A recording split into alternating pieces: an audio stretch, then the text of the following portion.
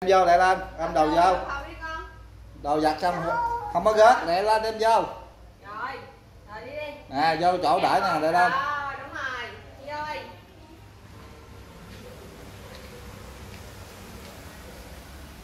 Rồi, bỏ đâu?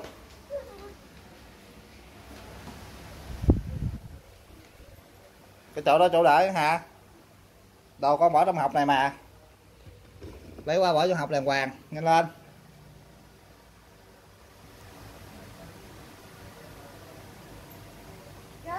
ừ, rớt rồi.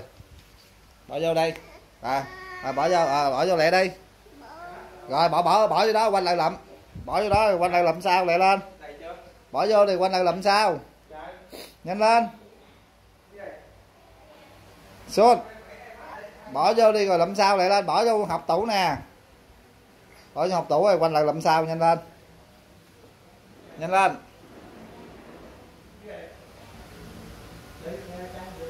rồi bỏ vô hộp tủ.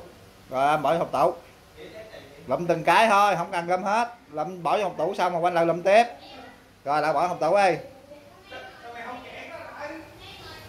Rồi lại, lại lấy đầu đằng kia nữa. Lại lấy đằng kia nữa kìa. Rồi lấy bỏ hết vô nha. Rồi bỏ hết vô. Rồi bỏ hết vô. Lụm lên. Rồi, đẩy, bỏ gọn vô đàng hoàng mới đẩy lại được chứ.